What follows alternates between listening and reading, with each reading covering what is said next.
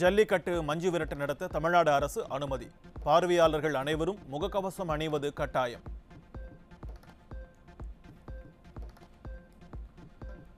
ஜல்லிக்கட்டில் அதிகபட்சம் முன்னூறு வீரர்கள் மட்டுமே பங்கேற்கலாம் மாடுபிடி வீரர்களுக்கு கொரோனா இல்லை என்று சான்று கட்டாயம் டிசம்பர் இருபத்தெட்டாம் தேதி மருத்துவ நிபுணர் குழுவுடன் முதலமைச்சர் எடப்பாடி பழனிசாமி ஆலோசனை புதிய வகை கொரோனா வைரஸ் பரவலை தடுப்பது குறித்து கருத்துக்களை கேட்கிறார் புதிய வகை கொரோனா வைரஸ் குறித்து மக்கள் அச்சப்பட வேண்டாம் தமிழ்நாடு அரசு தேவையான முன்னெச்சரிக்கை நடவடிக்கைகளை எடுத்து வருவதாக சுகாதாரத்துறை செயலாளர் விளக்கம்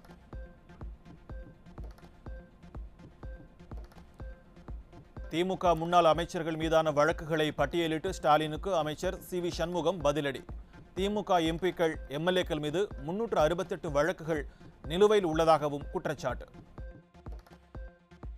இன்னைக்கு திமுக மீது இன்னைக்கு எம் எம்எல்ஏ எம்பி விசாரிக்கின்ற சிறப்பு நீதிமன்றத்தில் நடைபெறுகின்ற வழக்கு இன்றைக்கு விசாரணையில் இருக்கிற வழக்கு முந்நூற்றி அறுபத்தெட்டு வழக்கு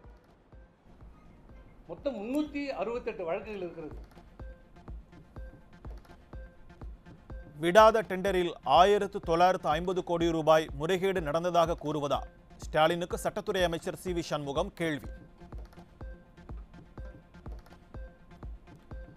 அண்ணா பல்கலைக்கழக தேர்வு கட்டுப்பாட்டு அதிகாரி வெங்கடேசனுக்கு கலையரசன் ஆணையம் சம்மன் துணைவேந்தர் சூரப்பா மீதான புகார்களை விசாரிக்க டிசம்பர் இருபத்தெட்டாம் தேதி ஆஜராக உத்தரவு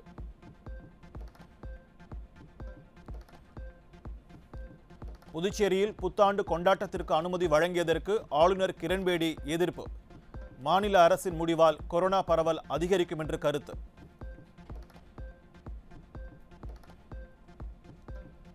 புதிய வேளாண் சட்டங்களுக்கு எதிராக இருபத்தெட்டாவது நாளாக டெல்லியில் முற்றுகை மத்திய அரசின் கவனத்தை ஈர்க்க யாகம் வளர்த்து விவசாயிகள் போராட்டம் ஓம் स्थान बदलते जाइए बीच में हमको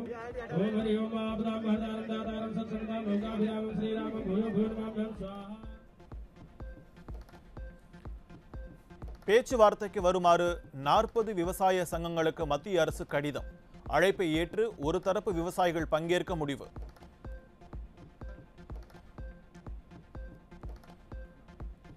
உலகை அச்சுறுத்தும் கொரோனா அண்டார்டிகா கண்டத்தையும் விட்டு வைக்கவில்லை ஆராய்ச்சியில் ஈடுபட்டிருந்த முப்பத்தாறு பேருக்கு தொற்று